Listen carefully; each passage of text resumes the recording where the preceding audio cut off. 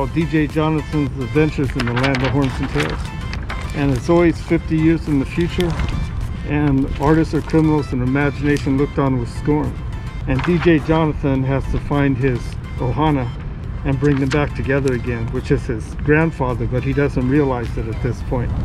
The storekeeper, which is this person right there, the storekeeper, uh, that's me, and that's my grandson. So I started it the day he was born 24 years ago. Mind if I have you on camera too? So in, in order to get the uh, Ohana back together again, the storekeeper has to paint the porthole for them to come through, kind of like the Matrix. system. yeah. So that's what this is. This is a porthole waiting for his Ohana, his family to come through, and uh, they reconnect again because they've been apart for 33 years.